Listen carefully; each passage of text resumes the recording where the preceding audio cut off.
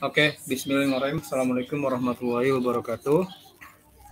Uh, selamat malam Pak Tubagus Rizky Darmawan, selaku dosen pengampu di mata kuliah Insiden Respons. Kami dari kelompok satu ingin uh, mempresentasikan hasil uh, implementasi yang telah kami putuskan yaitu memakai tools infection monkey dari infection monkey itu sendiri ada beberapa pilihan dan uh, di antaranya nanti akan kami sebutkan setelah uh, pengenalan kelompok-kelompok kami ini. Dari dari kelompok kami ini sendiri ada terdiri dari Ananda Rizka Aziza, yang kedua ada Farhanto Rikuzaini, yang kedua ada Farhanto Rikuzaini, yang ketiga ada Muhammad Ridho Hafif, dan uh, yang keempat selaku saya sendiri Sar Ramadan sebagai moderator dari presentasi pada malam hari ini. Oke, lanjut slide selanjutnya yang ketiga. Apa itu adversary emulation? Adversary emulation ialah di mana memanfaatkan taktik, teknik, dan prosedur musuh yang ditingkatkan oleh intelijen ancaman dunia maya untuk membuat tes keamanan berdasarkan kampanye atau intrusi real world. Tes keamanan menggunakan adversary emulation mengidentifikasi kesenjangan, memverifikasi asumsi defensif, dan memprioritaskan research. Red Hat Team dan tes penet dan tes penetrasi sering kali mencakup identifikasi dan verifikasi, tetapi dalam hal memprioritaskan kebutuhan dan budget organisasi. Selanjutnya bisa dilanjutkan di slide berikut.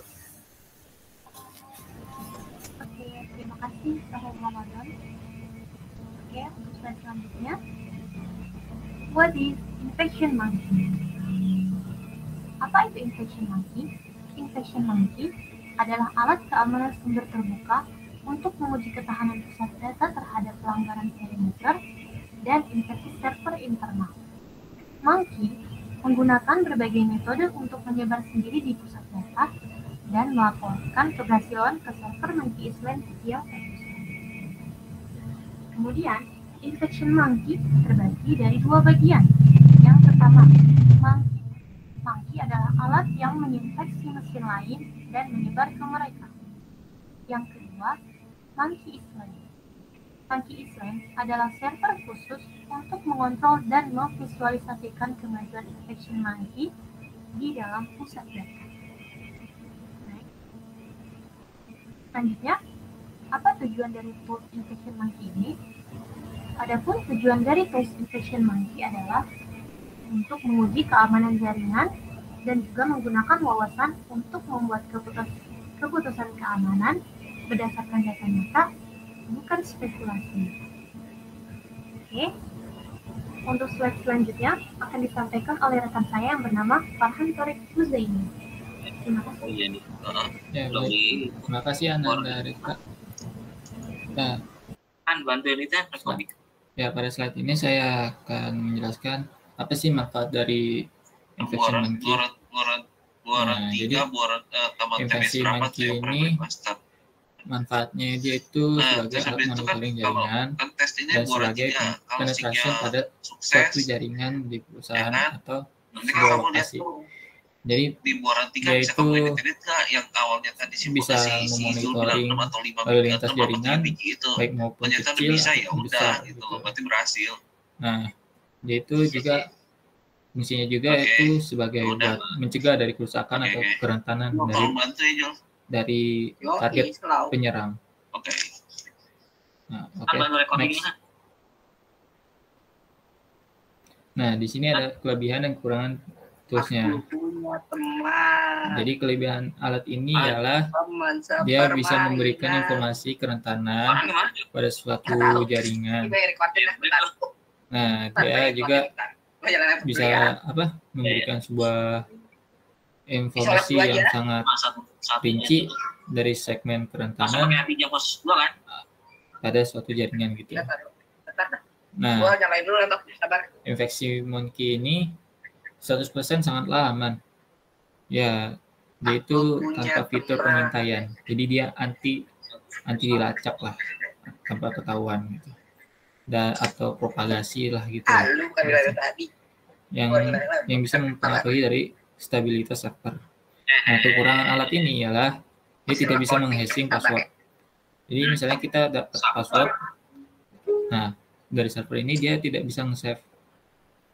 Jadi ketika sudah dapat password dia harus kita atau penyer, sebagai penyerang itu harus save keep keep passwordnya. Jika tidak dia akan melupakan password itu dan jika mau mulai lagi kita harus melacak lagi, Ya, jangan. lagi. Seperti itu.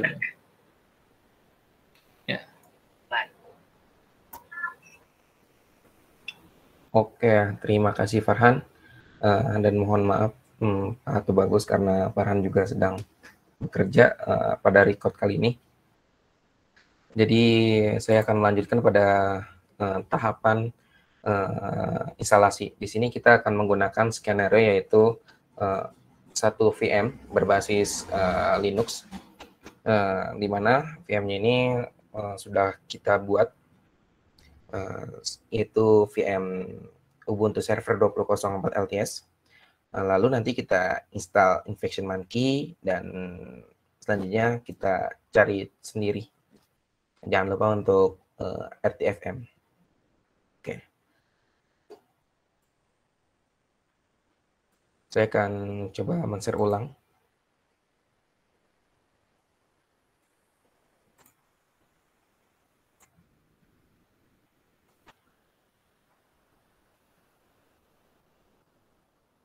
Oke, eh, di sini eh, kita sudah menginstal sistem operasi Ubuntu Server 2004 LTS pada suatu virtual mesin, yaitu VirtualBox.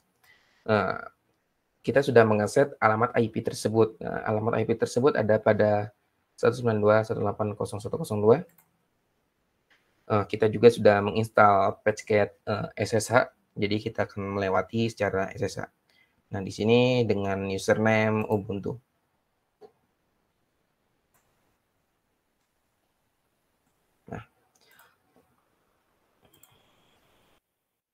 Coba SSH.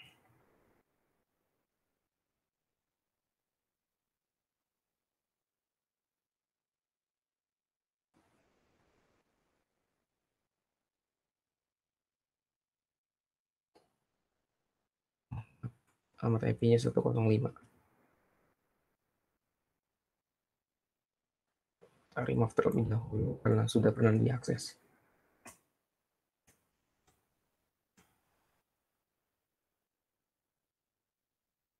Oke, Eh, sampai sini sudah eh, terhubung ke suatu VM.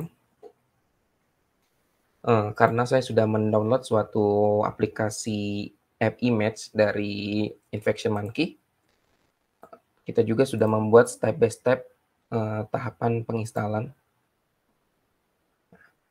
Tahapan penginstalan dari eh, app image. App image ini eh, di mana suatu image yang sudah eh, bisa berjalan karena terdapat beberapa patchcat eh, di dalam suatu aplikasi tersebut dan semuanya kita bisa lakukan jalan.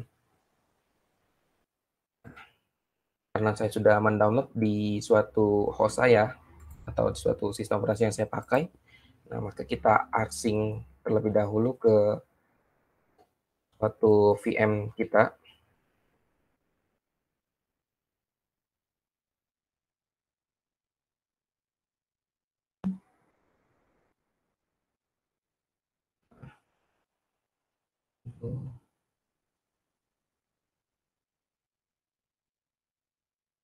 Ini sedang proses eh, pemindahan server melalui tools arsing. Kita tunggu.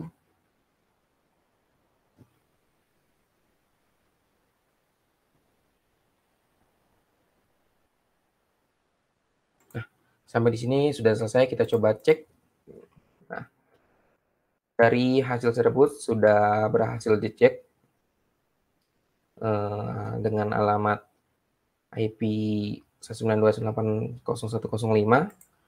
uh, dan berhasil sudah ter berhasil sudah terdownload atau sudah mendapatkan file hasil dari host kita yang tadi kita download. Selanjutnya kita akan memberikan akses executable uh, sesuai dengan step by step yang kita buat. Kita bisa memberikan tentang kita bisa menjalankan suatu perintah chmod u plus x action. Setelah itu kita coba cek kondisi sudah uh, sudah berhasil dikasih executable. Nah, setelah ini uh, kita bisa menjalankan uh, monkey island uh, dijalankan oleh infection monkey app image bisa kita jalankan dengan dot slice infection monkey. Kita tunggu prosesnya.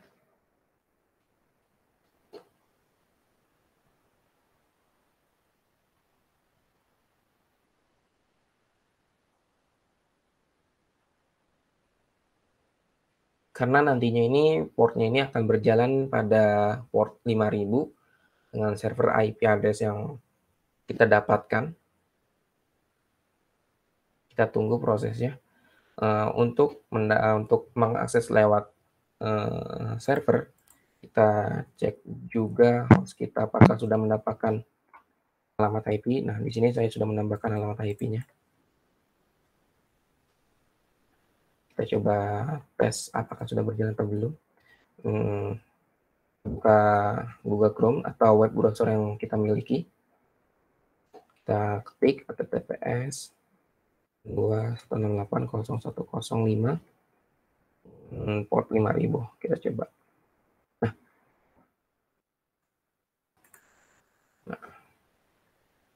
Nah, sampai di sini tahapan cara penginstalan kita sudah berhasil.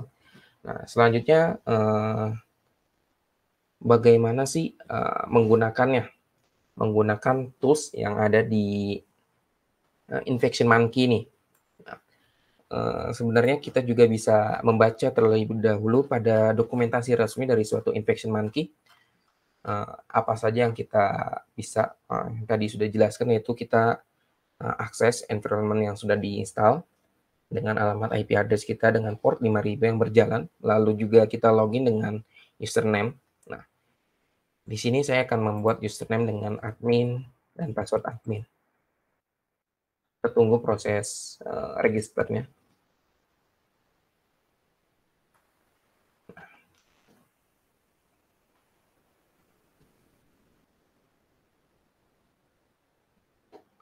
Proses uh, register memang memakan cukup waktu yang lumayan. Nah, di Infection Monkey ini uh, terdapat dua skenario. Uh, ada ransomware dan juga ada custom. Nah, jika teman-teman uh, atau yang lainnya ingin menggunakan suatu skenario ransomware atau custom, bisa dipilih dan bisa juga baca pada dokumentasi resminya skenario ini eh, kalau di ada terdapat dua yaitu ransomware simulation dan custom. Nah, di custom ini terdapat beberapa bagian, ada namanya zero trust assessment dan juga ada mitre eh, dan juga ada network bridge, ada network segmentation dan credential leak dan lainnya. Nah, kami akan mencoba di bagian uh, custom. Uh, kita juga bisa mencoba konfigurasi uh, monkey-nya ini, konfigurasi monkey. Kita ini tools-tools yang bisa kita gunakan. Di sini kami uh, mendemokan tentang penggunaan tools. Uh, jika nanti terdapat ada kesalahan, karena juga kami masih tahapan belajar. Nah, di sini ada uh, tools ATTN CK. Nah, di sini kita bisa pilih untuk command line interface, base profile, BTS jobs, dan lainnya. Nah, dan juga ada exploit. Nah, exploit ini kita bisa menambahkan user yang kita mau. Misalkan di sini saya mau tambahkan user Ubuntu. dengan exploit passwordnya ini 1 sampai 3. Karena ini hanya untuk sementara bukan untuk uh, dijadikan server production karena sangat bahaya jika menggunakan password seperti ini. Di network ini kita bisa menambahkan hmm, target kita. Nah, di sini kita coba mentargetkan dengan alamat IP 298.1.105 24 kan dan juga untuk uh, menganalisa dari uh, suatu network segmentation testing juga kita bisa tambahkan di sini misalkan juga kita samakan alamatnya. Setelah sudah berhasil ditambahkan semua jangan lupa kita untuk bisa mensubmit. Nah, jika ingin mengembalikan ulang kita bisa mengklik reset to default. Tunggu nah konfigurasi sudah berhasil. Nah, dan ini ransomware di mana simulasi ransomware include ini uh, membutuhkan suatu uh, file infection monkey sebelumnya uh, untuk dapat dicoba uh, safely enkripsinya pada suatu mesin di mana nantinya kamu uh, mempunyai suatu ransomware simulasi uh, untuk bisa dijalankan dan membuat suatu directory uh, pada beberapa file. Ini yang bisa kita gunakan misalkan toolsnya ada nama key uh, post bridge komennya misalkan mau ke mana. Dan ada juga untuk uh, tipe Windows. Dan juga ada internal. Internal ini uh, kita mau coba yang mana? Misalkan portnya. Ini kan port. Biasanya HTTP nah, semua ini targetnya TCP-nya terus scan interval. Ada uh, di internal ini ada beberapa nih. Ada ini island server. Kali ini alamat IP-nya ini nih 192.168.105 login lognya terus exploit. Yang mau di exploit yang mana? Lalu ada dropper nah, ini uh, mengharuskan uh, file monkey pada tanggal yang sama pada suatu file lainnya. Nah, ada tipe Linux dan ada tipe Windows. General, ada kill file, ada testing.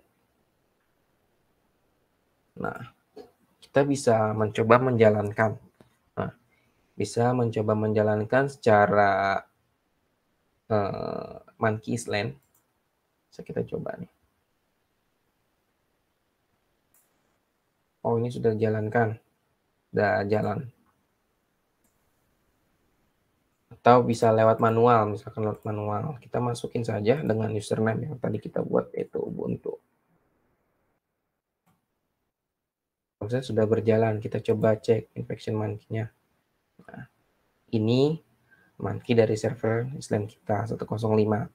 Nah, kita mau, mau misalkan mau menambahkan Oh, bisa kalau kita mau menambahkan, kita klik manual, lalu kita buka satu VM lagi.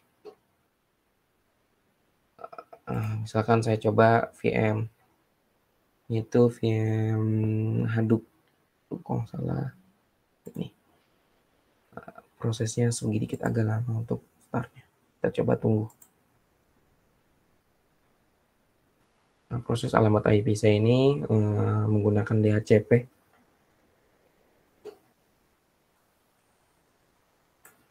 Nah, nantinya kita bisa copy lalu kita memberikan nama untuk tapi nanti dicek dulu apakah nanti akan mengalami suatu error atau tidak. Kita tunggu terlebih dahulu prosesnya cuma yang cukup lumayan lama. Setelah nanti tadi restore lalu melakukan reboot untuk mendapatkan alamat IP baru,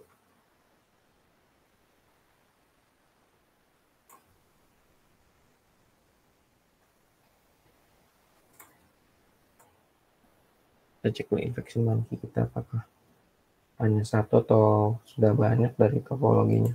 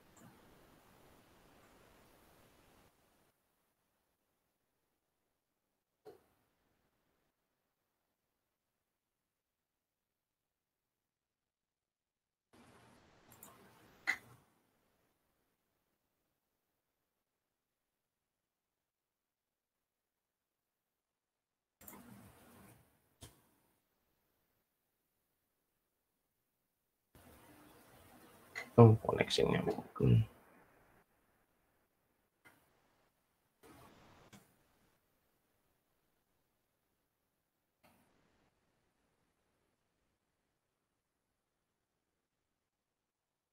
Karena tadi dengan alamat yang sama, makanya bentrok nih.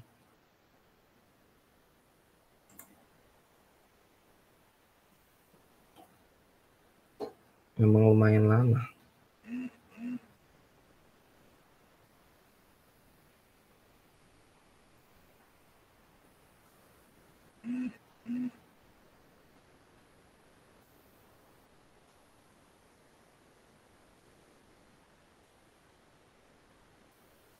Semoga tidak ada kejadian error.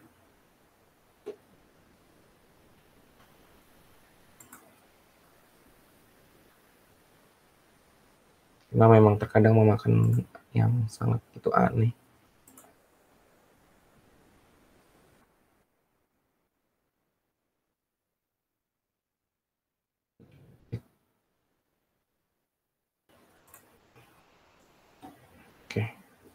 Sejalan.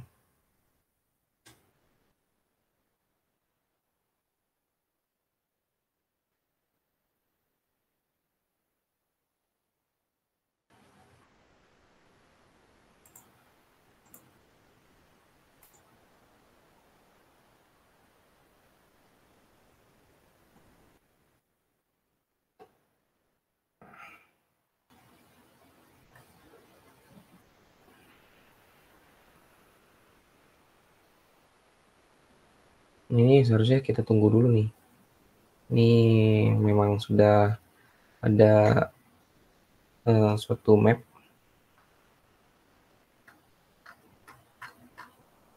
Dan terlebih dahulu kita tunggu nih. Ini menunggu ini nih server hadapnya. Main agak lama.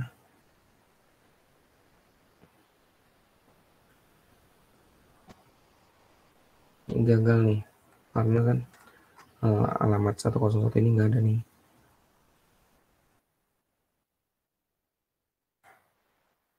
Nah, kita cek.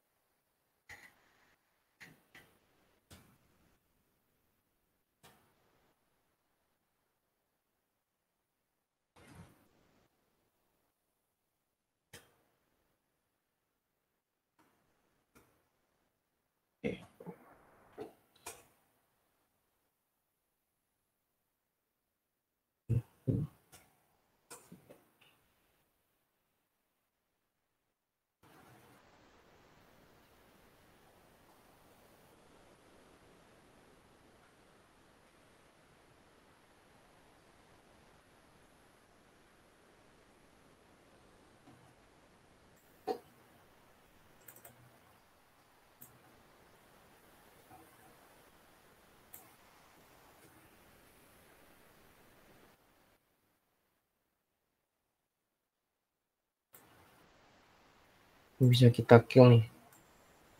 Nah kill.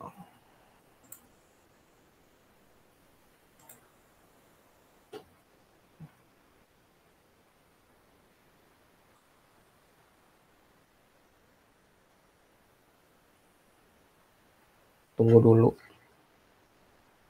Proses kill monkey lumayan memakan waktu lagi.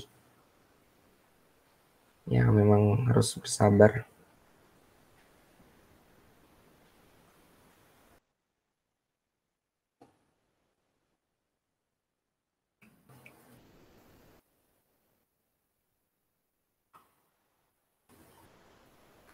mana nih satu kosong belum baca nih. Kita beri maka akan terjadi error. Mendownload suatu monkey Linuxnya dari alamat IP 105 ini berada di 106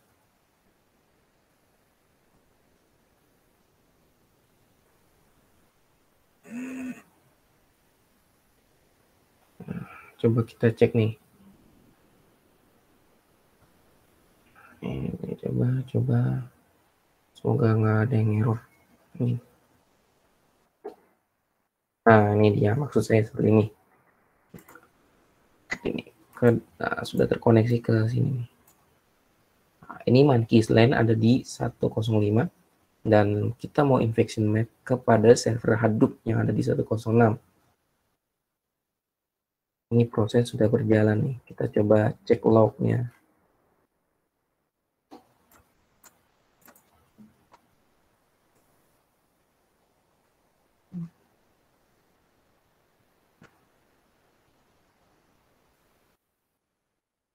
Kita tunggu aja nih proses-proses ini, proses lognya nih.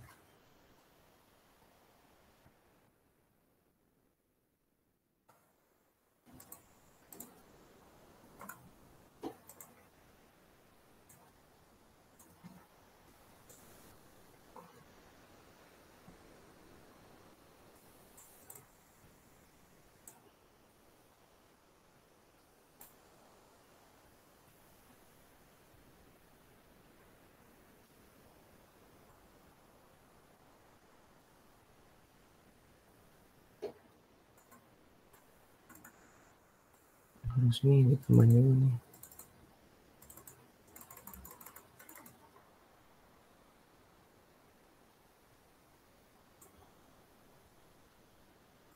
hmm, kita tunggu dulu lah. Ini memang lumayan lama nih prosesnya nih. Jika misalkan kuning berarti tunggu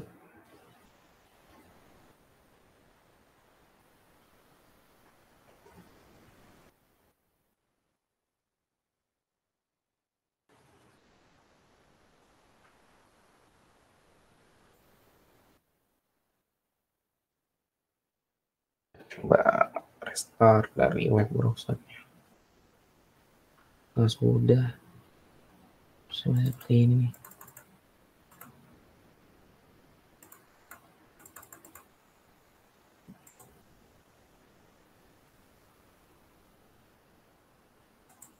kita kill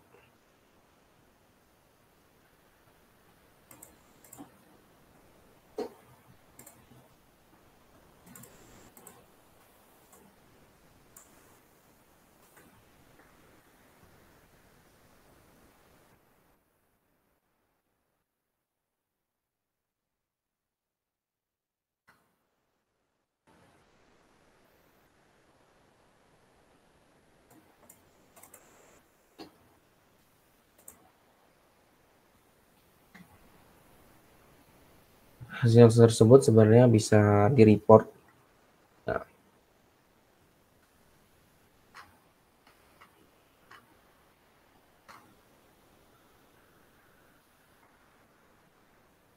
nah, ini mesinnya.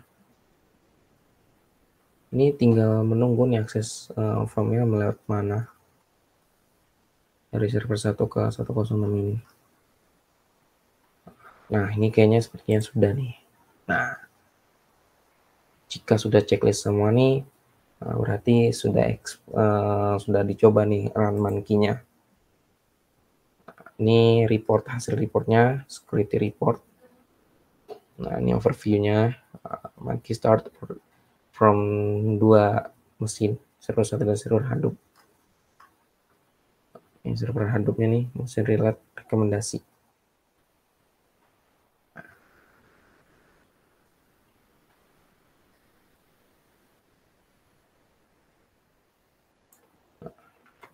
Lalu ada zero trust reportnya. Nah ini uh, untuk uh, bagaimana untuk network alleged dengan zero trust. Ada tipe-tipenya file verify, dan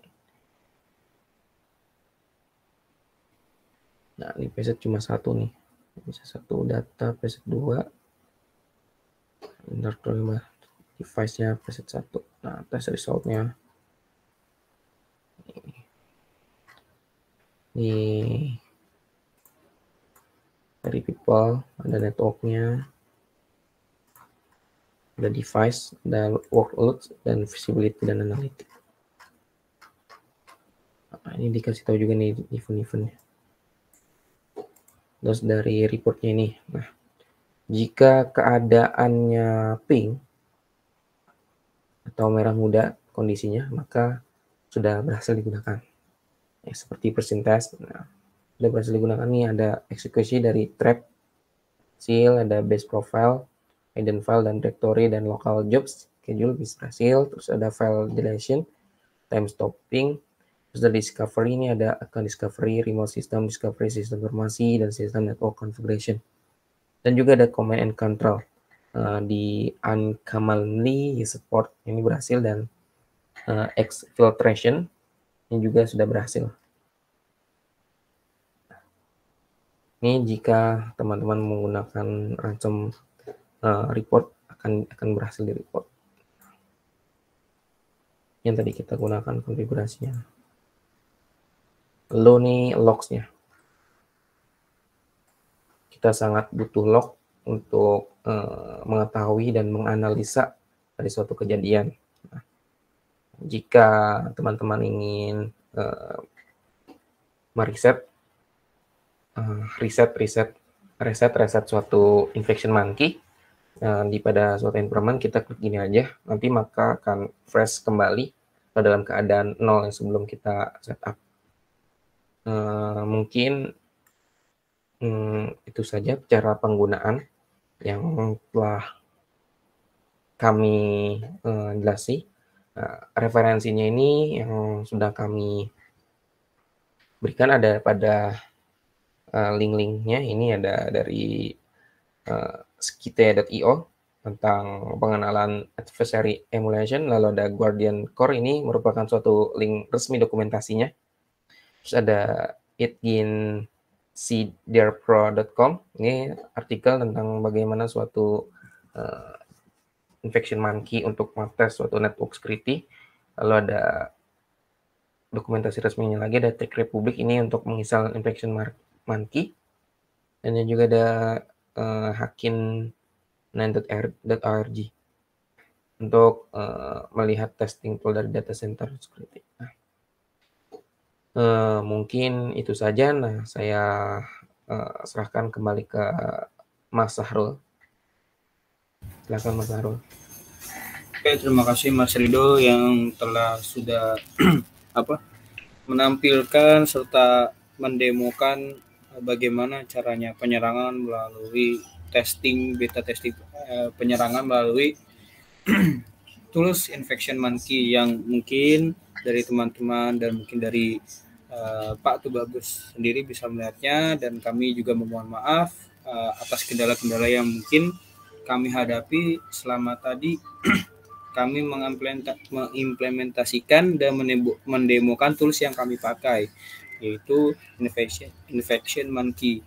Nah, setelah dari itu mungkin kami rasa uh, kami telah mencukupkan dari hasil presentasi kami dan terima kasih banyak juga kepada Mas Rido yang tadi telah bersabar menunggu yang telah Sama-sama. bersabar telah bersabar juga untuk benar-benar menjalankan terusnya satu demi persatu dan juga terima kasih kepada teman saya juga Farhan Torik dan Anda dari Rizka yang telah menyampaikan uh, materi-materinya. Mungkin itu saja Pak yang bisa kami sampaikan. Kurang lebih mohon maaf. Kami tutup. Wabillahi taufiq wa hidayah. Wassalamualaikum warahmatullahi wabarakatuh. Waalaikumsalam warahmatullahi wabarakatuh.